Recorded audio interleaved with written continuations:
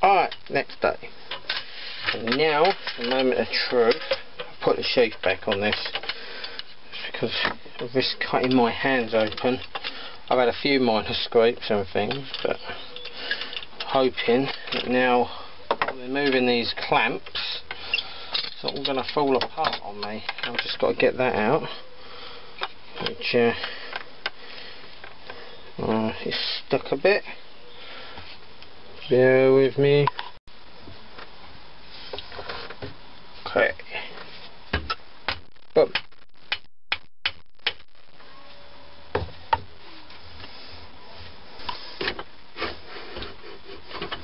Oh, thank fuck for that. Goes back in, comes back out.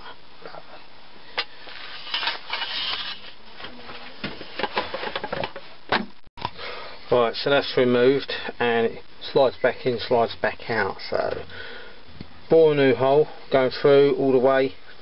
We can work that out. Pin, uh, going to start shaping this, shaping it at least anyway. Uh, I might fill up that as well with a, a dowel before I start. Just just get rid of the hole, give it back its strength. But we're getting there. We're getting there.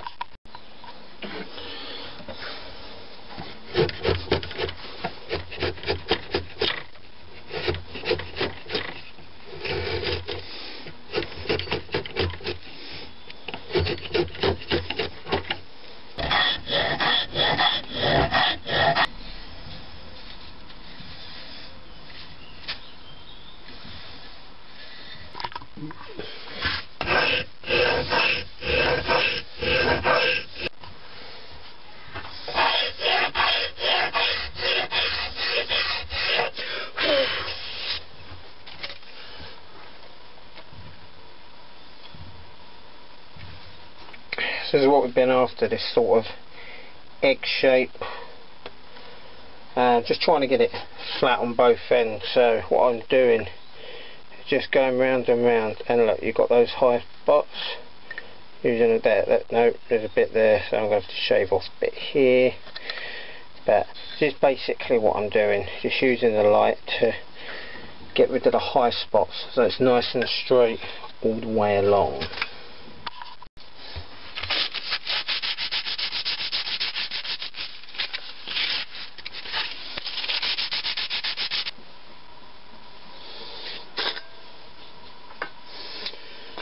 And we just check that that fits.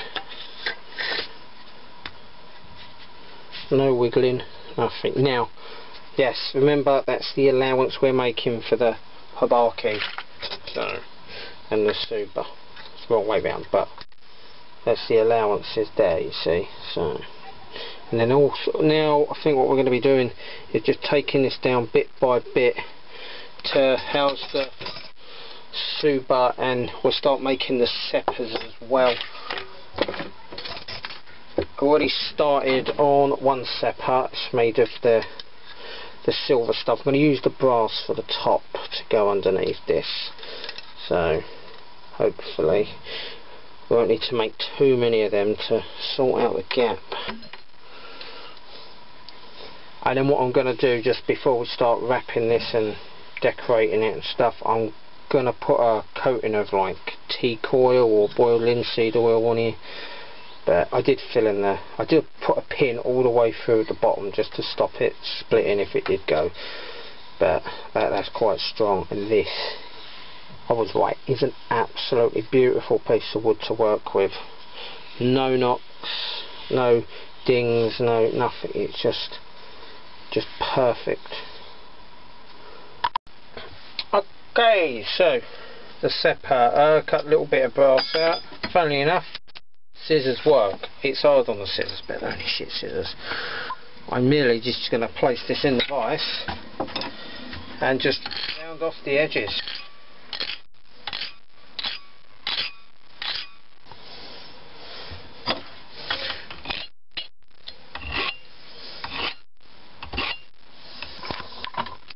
Okay, I've changed how I'm doing this. I've shortened those somewhat, basically, so I've not got it covered in holes. Um, that one is going to be the bottom one because I can't do anything about the hole but this one I've got to start the line from there everything is going to go in hopefully that being the top one will not see the holes all over the place I know what I mean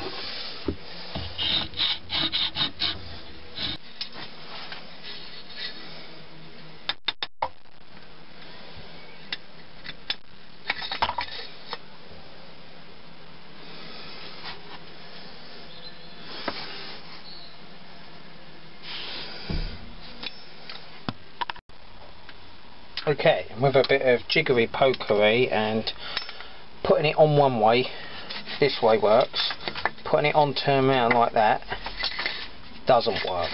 So what I've done, way the blade faces, I've put a little arrow just so I know what way that will slide on for now.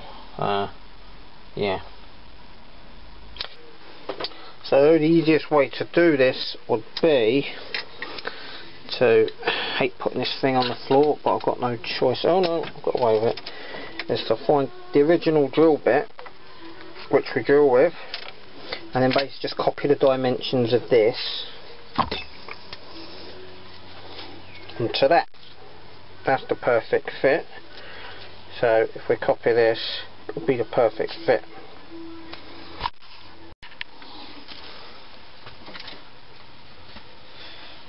So we actually have it as it stands now. It, it looks like a sword, it feels like a sword, just don't try holding it because that's going to fall off. So what I'm going to do now is make the pin and then we'll be able to give it a bit of a swing round, a resheath, uh, just, just treat it as a sword just to check everything so mechanically on it before we start making it into like all the pretty bits, the nice bits. Uh, I want to put some buffalo horn here but I'm going to make a pin uh, of the, the, the, traditional material which is bamboo. I've got a piece of bamboo, we're going to make the pin. I think that's going to be the next phase. And then tonight, just so it's got time to dry, I'm just going to cover this in a bit of teak oil just to, just to treat the wood. It is a good wood, so I just want to treat it just to give it a bit more water resistance.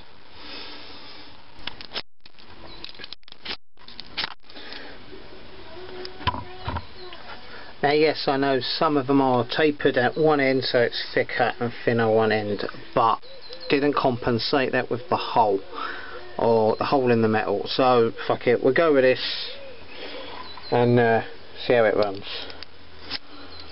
But I mean we're not samurais, right? We're not going to be fighting battles with this. This is literally just a it's going to sit on the wall or It's still going to be functional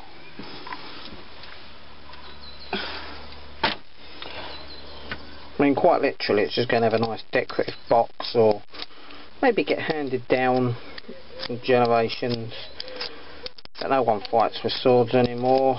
Unless the apocalypse happens then we'll put it into service. But we'll worry about that when it happens. Okay. No time and patience pins in. So now I've just got to put the blade in. Well actually I might trim this out first. No, I'll put the blade in first, then trim it out.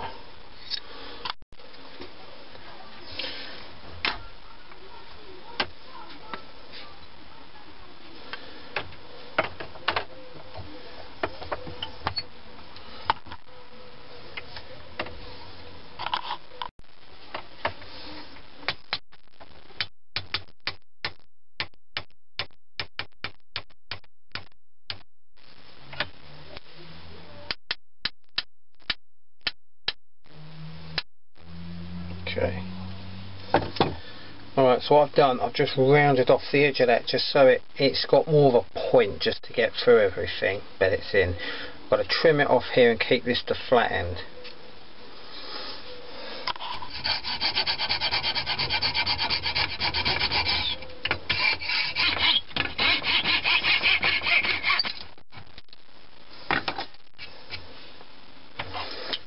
So I've just done it so it's a little proud of the surface because I don't want to dig in here or just I just don't want to like this this saw if you get it wrong it starts cutting in to the actual work so I'm not going to do now just sand it down me sanding block until it's flush with that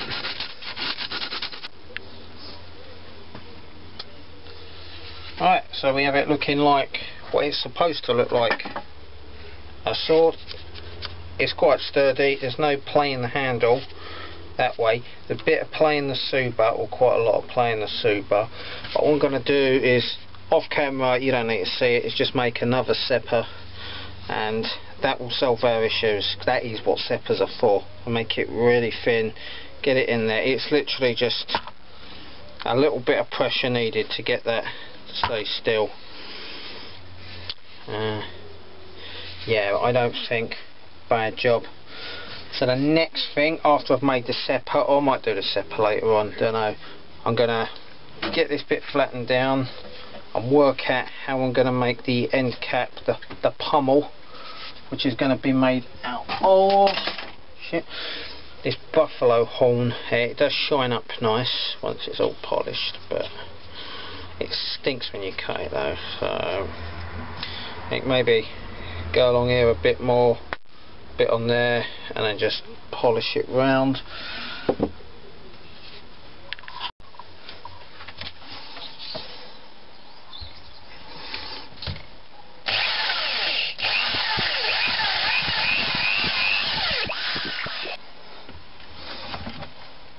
Not exactly traditional but fuck it hey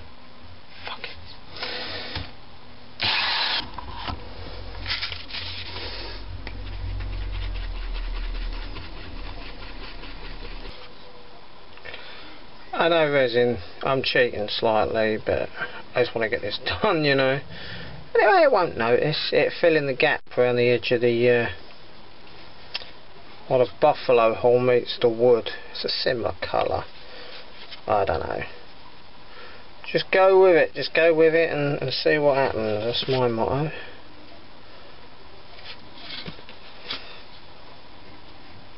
This is actually their liquid metal stuff. Uh, I've been using it on the bike.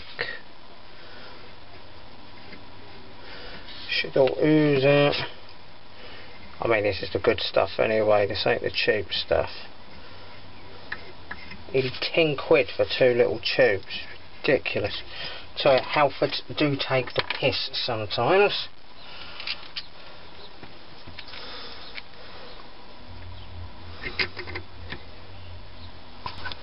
Okay, so the plan now, gonna wait for this to dry. Once it's all dry, uh, I might leave it overnight, I might not. I'm going to fill this hole at the top with a nice piece of wood. So what you'll see when it's all sanded down, folded down, polished up is a nice shiny piece of, well, buffalo horn, bone, whatever you want to call it. And I'm to put a nice piece of red wood in. I've got some really nice dowels I cut out a nice piece of wood that I think they just look like a nice brown eye or something in the top. Don't know, we'll see how it goes. See how it goes. So I might do is, when I put the dowel in, fill that as well with the same guns, or I might use wood glue. Actually, I might use this stuff and then brush it over, but we'll see where it goes. Okay, so off camera uh, I did that. That's the dowel I was talking about. It's uh, it's quite a nice red coloured one, not sure what type of wood, but came out the same bit of furniture as this bit of wood did, so they're a pair. So I'm just going to hack this off now. This has actually been resined in as well. I've left it a few hours. I'm not waiting till the morning. I just want to get it done. So I'm just going to uh, take that off. Put it back with my other dowels. A nice bit and now it's just a case of uh, Filey filey. Sorry sorry.